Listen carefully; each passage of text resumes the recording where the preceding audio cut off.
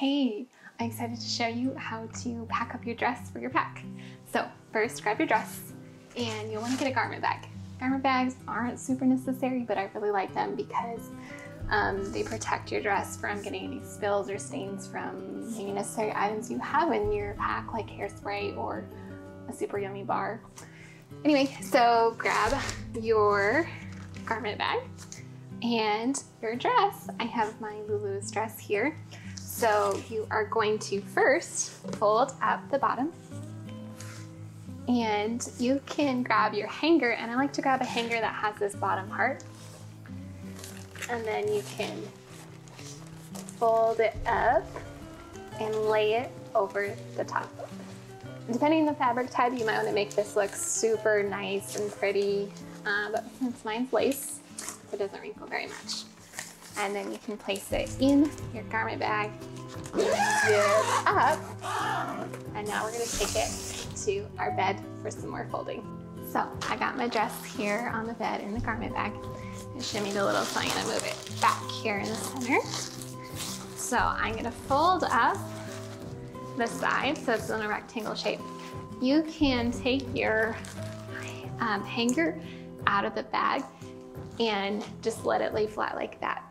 I personally like to keep the hanger in, especially if you get one of those cute customized one that says like Mrs. So-and-so or Mr. So-and-so or whatever cutesy name you might have for yourself in one of those hangers. Uh, the downfall of those is you usually can't like hang your um, train on the bottom of that.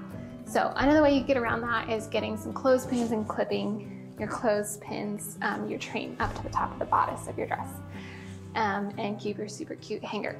It is gonna add a lot of bulk to your pack um, if you're packing your dress in your backpack, so just keep that in mind.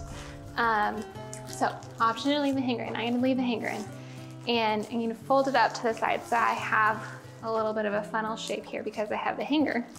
And then you're just roll it like a sleeping bag. So you wanna get all the air out as much as you can so that way you're not carrying any extra puff. And you can unzip the top of your garment bag to get that last bit of air in, give it a little squish, and then zip it back up and it will be hold tight. And now your pack is ready to slip in your bag. You'll have to get a little creative around your hanger here. Alternatively, you could roll it the other way, letting your hanger lead you. Just make sure your hanger doesn't have any super pokey tags. You don't want to poke a hole in your dress. And then just have a little uh, flat part of your dress. So either way you want to fold your dress, I like to roll it up um, if you want to get that air sealed out. You could definitely tape the top to get a tighter air seal to get that if you're like super OCD and want all the air out as possible. Um, yeah. And that is how you pack your elopement wedding dress. I hope you found this helpful. If you did, drop a comment below, share this with a friend who might need it, and I'm excited to share more with you guys.